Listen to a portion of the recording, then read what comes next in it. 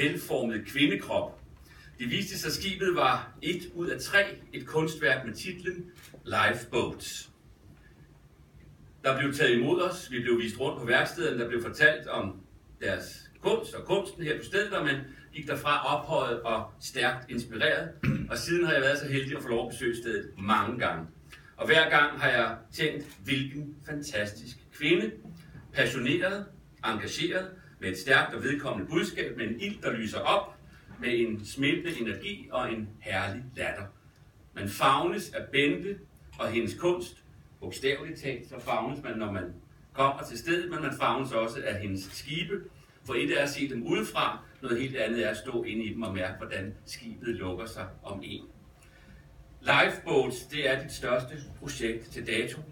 Du har arbejdet på det i mere end 8 år, og snart står det færdigt. Så færdigt som sådan et projekt nu kan blive, blive, for det er jo hele tiden i udvikling. Processen slutter aldrig.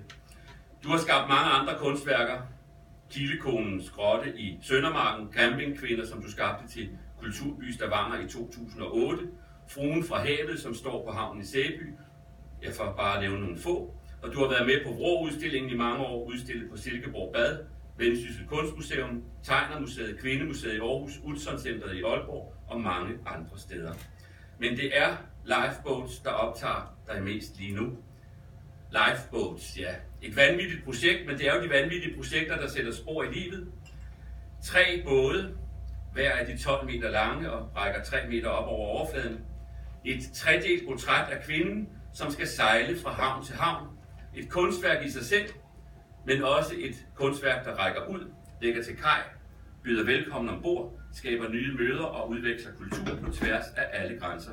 For husk nu, hvad der står ved sammen. Når verden lukkes ind, bygger vi bro fra sind til sind. Vandet, skibet og det at sejle, det indeholder mange symboler, som forholder sig både til livet og til lidenskaben, genfødsel og død, kamp, overvindelse og kommunikation på mange planer. De tre skibe har hver deres titel.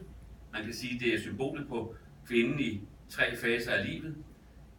Et skib hedder, eller et, skib, et af skibene er lavet med længsel, symbolet på den unge på vej ud i verden. Det andet skib er lavet med liv, symbolet på den gravide. Og det tredje skib er lavet med minder, symbolet på den aldrende eller døden. Der bygges i den grad bro med lifeboats. Det er innovativt, både kunstnerisk og teknisk, og det er det aldrig set før.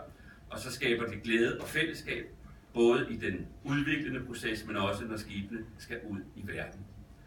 Sådan er det jo også lidt med Madame Clicquot. Innovativt, både kunstnerisk og teknisk, og hendes værk skaber også glæde og fællesskab overalt, hvor propperne springer. Og derfor var jeg ikke i tvivl, da jeg i år skulle nominere, eller komme med mit bud på dette års modtager af Very Clicquot Award. Det skulle være dig. Også fordi jeg sagtens skal se dig med et less, God bless someday.